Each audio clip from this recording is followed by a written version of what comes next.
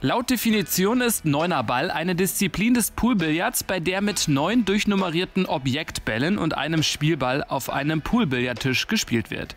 Bei jedem Stoß muss die Kugel mit der niedrigsten Zahl zuerst angespielt werden. Soweit, so gut. Das klingt zunächst nicht sonderlich kompliziert. Wie viel Tiefe jedoch tatsächlich in dieser Variante des Billards steckt, bewiesen die 16 Herren, die letzten Sonntag im Clubheim des BFC Fortunas antraten, um sich den Titel des Berliner Meisters Meisters im Neuner Ballbillard zu sichern. Und dieser ist hart umkämpft. Alle der hier angetretenen Spieler sind aktuelle Regional- bzw. Bundesligaspieler und sind dem Sport schon seit vielen Jahren verfallen. Wie sie zum Billard gekommen sind, da hat jeder seine ganz eigene Geschichte.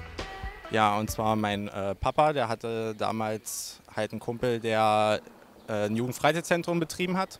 Da gab es dann drei Pooltische, auch so Computerspiele und sowas. Ich habe mich äh, dann mit Billard befasst und äh, fand das auch sehr interessant. Hatte dann auch äh, immer Lust gehabt, da hinzugehen nach der Schule. Und seitdem kann ich ohne Billard nicht mehr.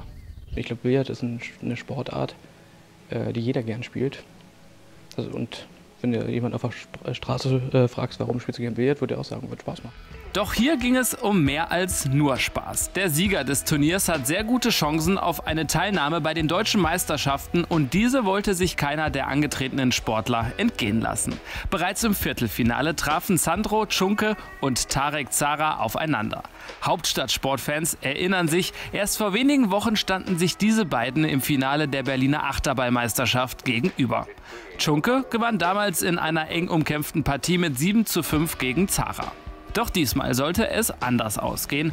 Zwar war das Spiel nicht weniger spannend, doch Tschunke musste sich seinem Gegner mit 7 zu 9 geschlagen geben.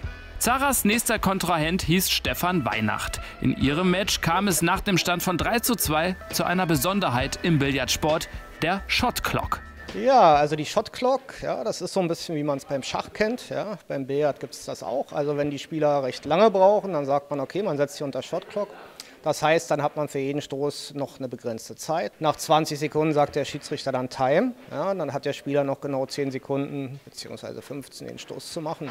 Und wenn er das in der Zeit nicht schafft, dann gibt es halt einen Foul und der Gegner ist dran. Durchaus eine erhöhte Schwierigkeit für eher langsame Spieler. Doch dies muss sich nicht unbedingt nur negativ für die Sportler auswirken. Bei einigen Spielern hat man sogar das Phänomen, dass die besser spielen, wenn sie wenn diese, diese Shotclock haben, weil sie einfach dadurch eine natürliche Begrenzung haben, wann der Stoß fertig sein muss. Hat man einfach weniger Zeit, Blödsinn zu denken. Ähm, Problem ist eigentlich eher, wenn so knifflige Situationen sind, wo man eigentlich schon ein, zwei Mal mehr überlegen möchte, ja, dann muss man halt schon sagen, okay, muss jetzt irgendwie gehen.